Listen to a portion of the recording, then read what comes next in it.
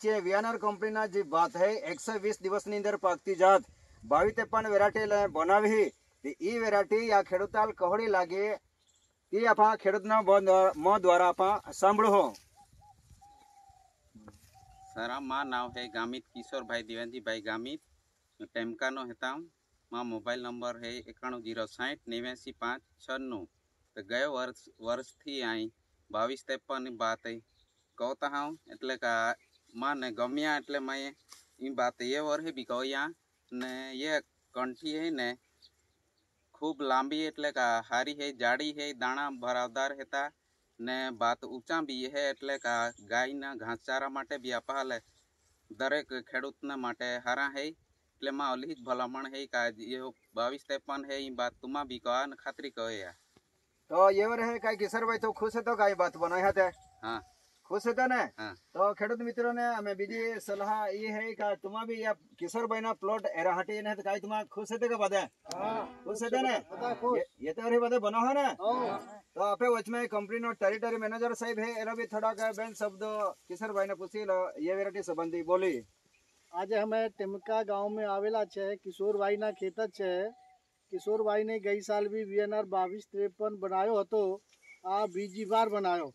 आ, किशोर भाई बोलता है कि भाई, आ भात छे न, आने जो कंठी मोटी आवे न, बीजानी नहीं आवे। आने जो कंठों में दानो आवे ना पाँच सौ ऊपर, बीजा में पाँच सौ ऊपर नहीं आवे।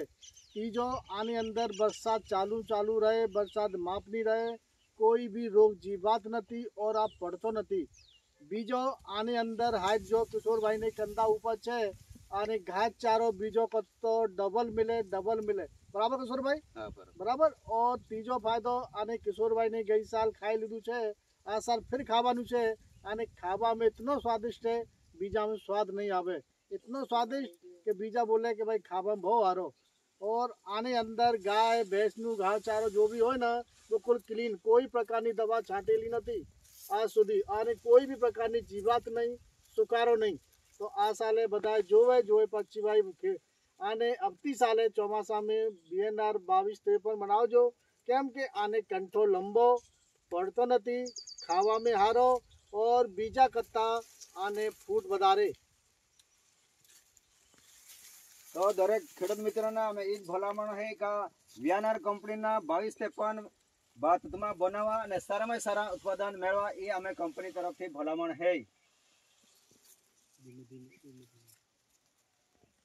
धीरे धीरे आखा प्लॉट ना